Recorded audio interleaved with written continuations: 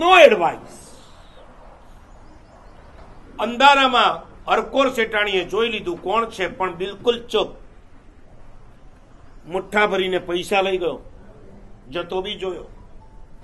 સવાર પડી કામ ચાલુ થઈ ગયું. હરકોર શેટાણી ખુરશી નાખીને બહાર બેઠા. સાંજ પડી. બધા મજૂરો એ જમાનામાં મહિને પગાર નહોતો. રોજ ઉપર ચાલતું હતું. રોજે રોજનો રૂપિયો લઈ લેવાનો. એ રૂપિયો એટલે ગાડા છાપ, ગાડાના પૈડા છાપ રૂપિયો કહેવાય. એમાંથી એક ગુણી ભરાય ને એટલો માલ આવી શકે. આખા દિવસનો એક રૂપિયો. અને એમાં લાઇનસર બધા હાથ લંબાવતા જાય. હરકોર છેટાણી રૂપિયો આપતા જાય. એમાં એકે હાથ લંબાવ્યો. હરકોરેનો હાથ જોઈ એમાં બે રૂપિયા મૂક્યા. ઓલો મજૂર પૂછે છે, બા, ભૂલ થાય છે. શેની? રોજ રૂપિયો આજે બે? મારી આગળ જેટલા ગયા એમને રૂપિયો ને મને બે? મેં એવું તે શું કર્યું? બેટા, તે પરાક્રમ કર્યું છે. એવું કયું પરાક્રમ? બધા એક પાળી કરી છે તે આજે દિવસ પાળીને ગઈકાલની રાત પાળી કરી છે, માટે તને બે રૂપિયા સમજ્યા તમે? ગઈકાલની રાત પાડી એટલે કાલે રાતના તું મારા ઘરની અંદર આવીને મુઠ્ઠી ભરી, અને મજૂર ચોંકી ગયો. બાને ખબર છે, છતાં એક અક્ષર બોલતા નથી, ઉપરથી બીજો રૂપિયો આપે છે. ગળગળો થઈ ગયો, પગે પડી ગયો અને હરકોરે ઉઠાવ્યો, બેટા, ભૂલ તારી નથી. મારી છે. તારા ઘરમાં કંઈક તકલીફ પડી હશે. માટે તને મારા ઘરમાં ચોરી કરવાનું મન થયું. મેં પહેલેથી જો તારો વિચાર કર્યો હોત, તારે આ રસ્તો ના લેવો.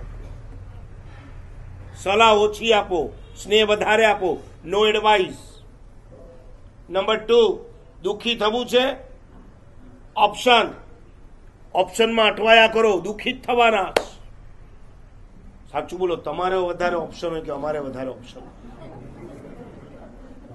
એક મોલમાં તમે જાઓ, અમારે તો આવવાનું જ ના હોય, માની લો કે અમારે આવવાનું છે. તો સૌથી પહેલો બહાર કોણ નીકળે? હે? અમે હમણાં છે ને અતિચારનો મોલ લગાવ્યો હતો. અમારા અમરભાઈ અહીંયા આવ્યા છે. એક હજાર બાળકોએ અમદાવાદમાં અતિચારના ફોર્મ ભર્યા હતા. એમાંથી છસો જણા આવીને અતિચાર સંભળાવી ગયા.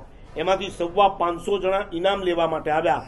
એમને શું લેવું? બસો રૂપિયાથી હજાર રૂપિયા એમને કરન્સી આપવામાં આવી, જેના જેવા ગ્રેડ. અને તમારે જાતે ઉપર જવાનું. તમારી જ પરચેસ તમારે જ શોપિંગ કરવાનું. તમારી મમ્મી, તમારા પપ્પા, તમારો ભાઈ બહેન કોઈ તમને ડિસ્ટર્બ નહીં કરે. પાંચથી લગાવીને પંદર વર્ષના છોકરા, છોકરીઓએ આ સુકૃત સેન્ટરની અંદર સેકન્ડ ફ્લોર ઉપર એક મોલ બનાવ્યો અને સુકૃત મોલની અંદર જઈ પરચેસ કરવાનું. તમે માનશો? છોકરા દસ મિનિટમાં નીચે આવતા હતા. પરચેસ કરીને. હું નીચે એમના પેરેન્ટ્સને પકડીને રાખું. મેં કીધું, તમે જાઓ, તમારા પપ્પા, મમ્મીને હું સંભાળું છું.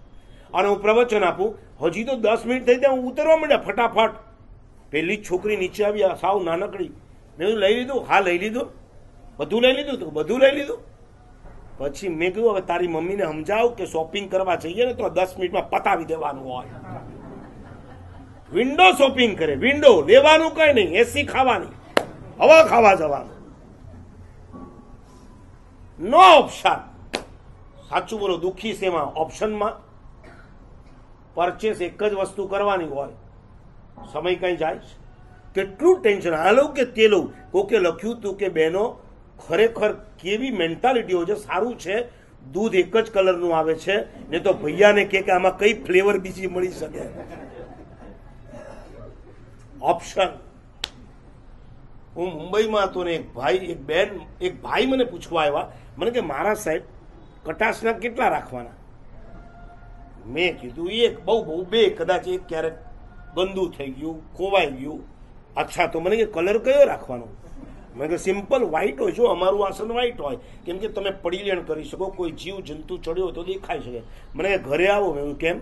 મને કે, તમને બતાવું કેટલા કટાશના જે કલરના સાડલો પહેરે છે ને, એ કલરના કટાશના તમારું મેચિંગ ક્યાં સુધી પહોંચી ગયું?